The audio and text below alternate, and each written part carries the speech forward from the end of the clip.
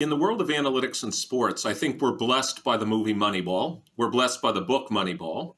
And everyone thinks of the Brad Pitt, Jonah Hill movie, where in some sense they're evaluating players on using data science.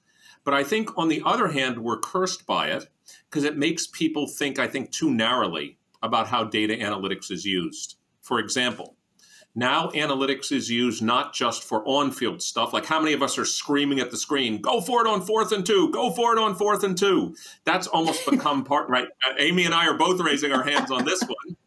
But it's also influencing things like training. So for example, imagine athletes, women and men, being censored up while they're training. Imagine women and men being tracked while they're sleeping and noticing what sleeping patterns are related to better performance. Imagine people that are actually tracked and they're motion tracked in ways that we can do injury prevention